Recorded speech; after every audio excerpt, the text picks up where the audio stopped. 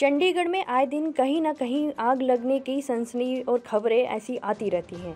कभी furniture market तो कभी किसी रेस्टोरेंट में आग लगने की समस्या सुनने को मिल ही जाती है। अब ऐसा ही मामला सामने फिर से आया है, जहाँ पीजीआई में लॉन्ड्री डिपार्टमेंट के पास जंगलों में आग लग गई।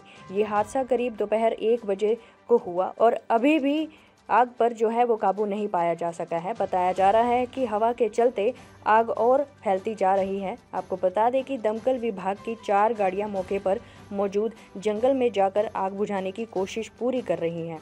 चंडीगढ़ के फायर ऑफिसर और पीजीआई के फायर ऑफिसर भी मौके पर मौजूद नज़र आए। ताज़ा अपडेट्स व बड़ी खबरों के लिए सब्सक्राइब करें आज प्रकाश टीवी और बेल आइकन दबाना न भूलें।